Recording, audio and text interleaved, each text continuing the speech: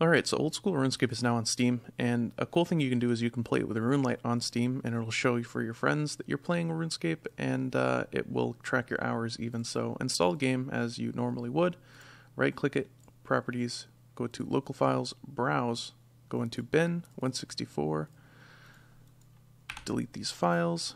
Uh, it sometimes helps to exit out of Steam as well.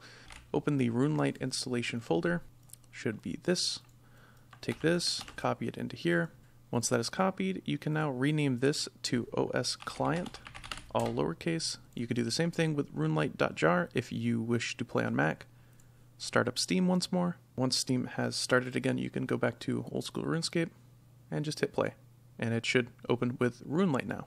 If you don't close Steam, then you might get an update page and you'll have to click play to continue.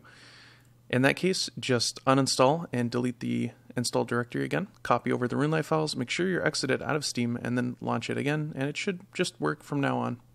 And as you can see, we are in RuneLite, and on Steam, we are playing old school RuneScape.